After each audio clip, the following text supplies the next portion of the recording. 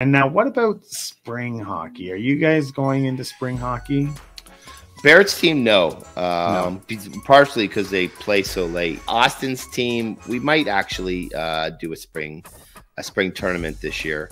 Um, but no, like have, three on three, not like a league or anything. no, or anything, the boys no. have done it. They've done the beast um, three on three league, um, but I don't think we're doing it this year. I think we're just going to do ball hockey and golf and, other sports. Take a little, yeah. little break. Yeah.